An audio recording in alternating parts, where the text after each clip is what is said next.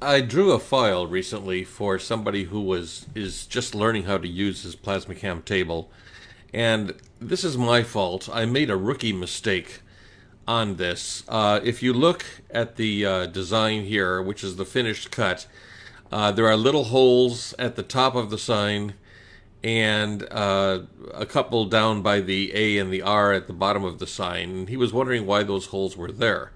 I'm going to explain why those holes are there, how to find them, and how to get rid of them.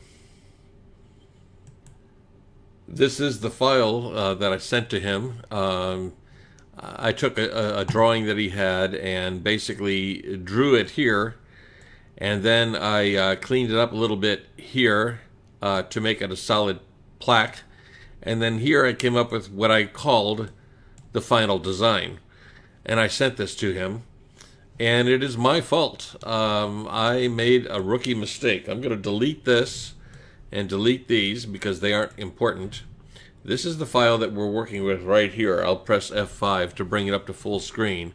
And you'll notice that when you uh, when you look at it, it looks like everything is correct. You don't see any anomalies or anything unusual around these letters. Nothing visible to the naked eye. However, as I've said before in other videos, before you cut anything, and this is my mistake, before you cut anything, what you should do is you should say view select.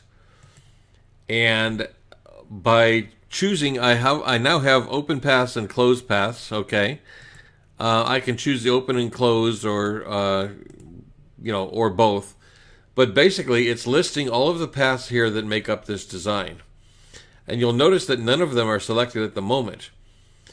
Now, if I were to select this path, for instance, you can see that it lights up green. That tells me that that's path, and uh, that's the path, and it's part of the design.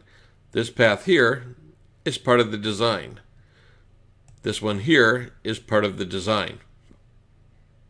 However, by going to View Select, which I forgot to do in this drawing, the very first thing I, know, I notice here is that there are a whole lot of two node paths with a length of zero inches, which means they're so small you can't see them with the naked eye.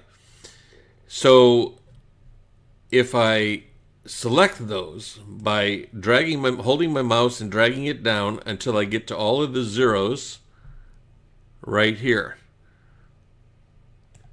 And then I close. What I do is I select all of those paths. You can't see them, but I selected all of them. And that's the, that's these little things that are making these holes in the sign. I'll show you again. If I view select and I pick, oops, F5. If I pick um, another design uh, like this one here, you can see that that is the path that that refers to. Now when I close, I am uh, I have that path highlighted because that's the one I clicked on in the view select list. I can delete it or I can uh, rotate it or I can scale it or whatever I want to do. But that's how you select these individual paths. Okay. So we have all of these paths with a length of zero. That tells me these are little little anomalies where something was either copied or trimmed or whatever, and it left things that are so small that you can't see them with the human eye. The very first thing I'm going to do is I'm going to go in here and I'm going to close this path here because I left it open. I'll say X with my trim extend tool Trim that down, right click and say join, and that now becomes a closed path. Okay, so the torch will cut that out just fine. But I, I want to get rid of all of those little anomalies that are putting holes in the pattern. So what I'm going to say is view select. And then all of these length, paths that are a length of zero. These are just little tiny things that the computer sees, but you can't see it with your eyes. I'm going to select them close. Now, presumably, they're all selected even though I can't see them. And I'm going to press delete. Well, now look what happens. If I say view select again, you'll notice that the first shortest path, because I've, I've selected path length here. This is how I want to list the paths by path length. The shortest path now is 0.377 inches. And you can see that that's this path right here. See it? Right there. So I could take all of these paths here. These are the shortest paths in the design. And click close. And you'll see that all of those paths are highlighted because those are the ones I picked out of the list. Well, those are part of the design, so they don't need to be altered or removed or duplicated or whatever. So now I know that this design here is free of the little anom anomalies that will cause the torch as you're cutting out the letters. Suddenly the torch will move over here and punch a hole through the material. And it's like, oh, why did it do that?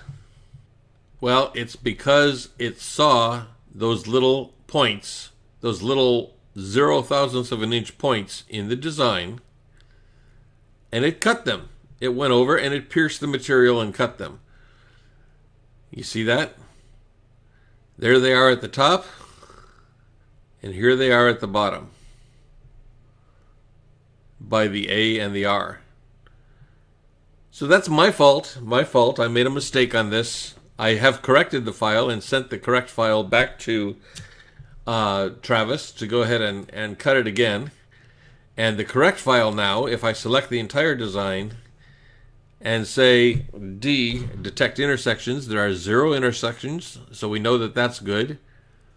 And also, if I view select, you'll see that the shortest path in the design is 0.377. Close this window, and that's one of these curves that creates the rope effect around this ring. So I know that there are no paths smaller than that in this design nowhere that the torch is going to go over and attempt to cut something that's not supposed to be there. It's important to do that for every time every time you, you cut out a design. Uh, if you have a couple of designs, let's say we have, uh, I'll take this and um, uh, I'll copy it. Well, whatever. I'll just draw a design over here and draw a design over here. Okay, you got a couple of designs, right? Now you can say, all right, we're looking at this one right here, view select, and you'll see that the only ones that are lit up blue are the ones involved in the Army's design, and the other paths are not lit up because that's the um, square and the circle. You see that? There's the square and there's the circle. So now everything here is lit up the square and the circle are not lit up, and therefore they don't show up as blue lines here. So that's important to do. I'm going to delete these two. Uh, I'll press F5 and I'm going to say File, Save As. And I'm going to go back into the file and say New Army Logo, PCM, Save. And of course I've done this before, so I'm just saving it again. But now we have a design that will cut correctly on the PlasmaCam table without any oopses, such as these. Going into 2023, I'm going to maintain my policy of offering free online training via Zoom. You can send your name, address, phone number, tell me about your um, uh, computer, your software, your upgrades, etc send it to add me now at mail.com. Not Gmail, but mail.com. And um, I will get back with you and tell you how we can connect our computers together over the internet through a Zoom meeting room. Uh, it will cost you nothing, uh, but once we get our two computers uh, hooked together, or three or five computers, if you want to get some friends together, that's fine. We can do it in a group. It doesn't matter to me. I don't charge for that. I do this free online. I do it for fun. Um, I will help you to learn how to find errors like this, uh, like the error that I made in this design, and how to correct it so that it isn't a problem in the future. Um, so send your information to this email address, and I'll be happy to uh, get back with you and do some free online training so you can get better at using Design Edge. Uh, I hope we have a great 2023. Try and keep your sanity in all of the madness that is about to come. Uh, trust me, it's about to come. so just just try and uh, keep your sanity because it's we've got some really rough times coming at us here in the near future. I hope you've enjoyed this video.